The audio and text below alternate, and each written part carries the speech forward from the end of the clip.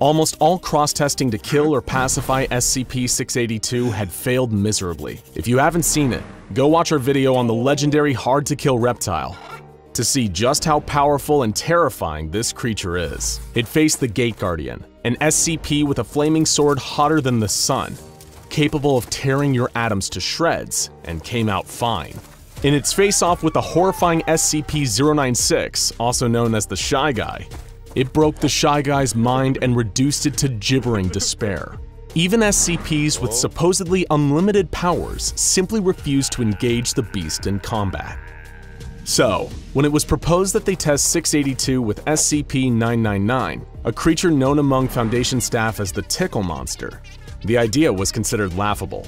682 had been burned, suffocated, cut up, incinerated, and growled in the faces of the gods. How could this so-called tickle monster ever hope to survive an encounter, let alone win a fight?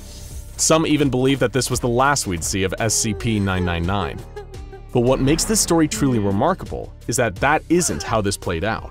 As you'll soon discover, SCP-999 is an amazing and unique SCP in and of itself. But its secret origins and its interactions with some other prominent figures in the SCP universe are what make this humble, slimy creature beyond extraordinary. Prepare yourself for the heartwarming, yes, you heard that right, the heartwarming story of SCP-999. Several highly trained agents on 682 Detail placed 999 into the immortal lizard's cell. Compared to the giant reptilian sitting across from it, 999 wasn't much to look at. It's a large orange amorphous blob of anomalous slime. Weighing in at around 120 pounds, SCP-999 was nothing compared to the monstrosity it was supposed to face. While its weight has in the past caused minor injuries to some of its human handlers, it has never caused serious or long-lasting damage of any kind to a living thing. Even its diet consists only of candy and sweets, with a particular preference for M&Ms and Necco wafers. It consumes these treats through the cell membrane of its slimy body, much like an amoeba. This extremely stretchy membrane means the creature is highly malleable, including the ability to stretch and flatten itself out to a mere 2 centimeters thick. At rest, the creature takes a dome-like shape around 2 meters wide and 1 meter in height. The closest things the creature has to limbs are prehensile pseudopods. Those are the arm-like projections normally seen on single-celled organisms, of which it has at least three. The more you hear about this utterly harmless creature, the more that matching it up with the pure embodiment of absolute hatred known as SCP-682 feels downright cruel. In absolute contrast to the misanthropic attitudes of the reptile, 999 loves humans. It has a playful dog-like attitude. Much like an overexcited puppy when approached, 999 will react with extreme joy and slither towards the nearest person in order to interact. It will leap onto them, using two of its three prehensile pseudopods to hug the person, while the third nuzzles the person's face, emitting high-pitched cooing and gurgling noises throughout. The creature is apparently pleasant in every conceivable fashion, as even its odor has been reported to smell just like the favorite scent of whoever is smelling it. Examples have included chocolate, fresh laundry, bacon, roses, and Play-Doh. It's almost impossible to oversell just how beloved and benevolent this strange creature is. It's one of the rare sapient SCPs to earn the Safe class, and it's allowed to roam freely around its facility at all times, apart from a one-hour bedtime period between 8 and 9 p.m. In the rare instances that 999 has caused harm to a worker at the facility, it immediately began to back away and contract its body while whimpering in a kind of dog-like apology. The closest the Foundation has ever come to having a real incident with the creature was the time someone accidentally fed it a can of caffeinated cola, causing it to become hyper for an hour before becoming visibly queasy. You'll be relieved to know that it's since made a full recovery. But what would happen when this whimsical creature is forced to go toe-to-toe -to -toe with the Foundation's most ill-tempered monster? The employees observing the test watched in suspense as 999 began to enthusiastically slither towards 682. It's no surprise that after being tortured and almost killed hundreds of times during testing, 682 had grown jaded to the cross tests it was regularly subjected to.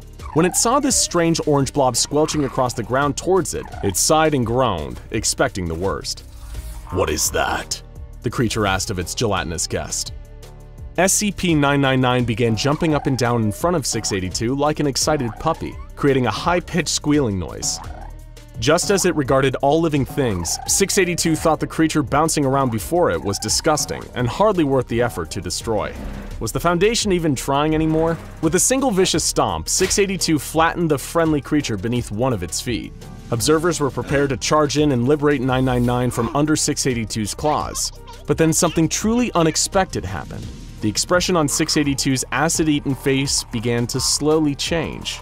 It was beginning to smile. Observers recorded a noise what they thought could have been a chuckle as the creature growled and said, Hmm, what is this?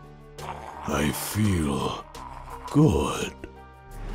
While the observers looked on, stunned at what was happening, 999 began to slither and crawl up from between 682's toes. It reformed on its scaly leg and slithered up along its side until it reached the neck. There it began to nuzzle like it had never nuzzled before. The results spoke for hmm. themselves. 682 was grinning and chuckling, repeating a phrase that the Foundation never would have imagined coming from 682. Feel so happy. Happy. Happy. Happy. Just when you thought SCP-999 couldn't possibly be more adorable, you learn about its greatest power, bringing joy. Anyone and anything that comes into contact with the creature, even in passing, will experience a kind of mild euphoria. As one's contact with the creature is prolonged, this overwhelming sense of joy increases and continues long after you've separated from it. Prolonged contact has completely cured depression, anxiety, and PTSD, along with a number of other conditions, including rage and antisocial personality disorders. Serial killers practically become saints after coming into prolonged contact with 999, and in that moment, 682 was no exception. And there truly does not appear to be no exceptions. While causing happiness and joy isn't a dangerous weapon, when it comes to SCP-999, it is an extremely powerful one. And what's more, SCP-999 also appears to have an innate sense for those who need its help most, with a particular affection for the hurt and the unhappy. The creature appears to be a true altruist on a fundamental level, even risking its own safety to help humans during dangerous containment breaches. In one dramatic instance, 999 leaped into the air to block a bullet from making contact with a member of staff. As a result, the creature is pretty much universally loved by all members of Foundation staff. It's the one SCP who has never made trouble for anyone. Back in SCP-682's containment cell, the beast was still smiling and laughing as 999 rubbed against its neck. It was an event so strange, hmm. so unprecedented, that the observers in attendance felt like they were hallucinating. For a few minutes, the monster kept dreamily repeating the word, happy. But then, suddenly, the creature began to enter a fit of uncontrollable, booming laughter. It rolled onto its back, slamming its huge tail against the door. It had just fallen victim to one of 999's favorite pastimes, tickle fights, hence how it earned its Tickle Monster nickname among staff. The tickle fight continued until 682 appeared to tire and fall asleep, with a smile still on its face. After 15 minutes of inactivity, two D-Class personnel were commanded to enter and retrieve SCP-999 from the containment cell. They did so successfully, but as soon as 999 was removed, 682 roused from its slumber and released a powerful psychic attack from its entire body while laughing maniacally. It rendered all personnel within a certain distance incapacitated, as they collapsed in fits of laughter, allowing 682 to escape and go on a violent rampage. However, in spite of this, 999 showed no fear and helped save some of the bystanders as security officers subdued and recaptured 682. And even after all of this, 999 showed no hard feelings towards 682 and indicated a desire to play again. It's a creature whose capacity for love is so limitless that it's practically immune to fear. Which is all well and good because the true enemy that 999 is destined to face is infinitely more powerful and terrifying than 682 could ever hope to be. What is this monster? And why should 999 have to face it someday? The answers to these questions all lie in the true origins of SCP-999, available only to those with level 5 clearance and beyond. It's a perfect example of how something good can come from the darkest places. There would be no SCP-999 without SCP-231-7. SCP-231 was a collection of seven girls, all impregnated by horrific nightmares in a ritual performed by a cult known as the Children of the Scarlet King. Each of these girls, hmm. over the years that followed, gave birth to some of the most horrific monsters imaginable. One of which, according to some, was SCP-682. These beings were manifested by the Scarlet King, a powerful interdimensional nightmare god believed to be behind a great deal of the darkness and horror present within R and many other dimensions. Foundation higher-ups have declared the Scarlet King to be the greatest existing threat to the multiverse at large. And SCP-231 was his latest direct interaction with our universe. The only surviving member of SCP-231, SCP-231-7, gave birth in secret. But she didn't give birth to a monster. She gave birth to SCP-999, a being of pure goodness. That's right. The nicest, kindest, cuddliest SCP of all is the direct descendant of a being that's essentially the dark god of all evil. Feel free to take a moment to absorb that. The creature even healed the girl who birthed it and allowed her to return to normal life with her family once more.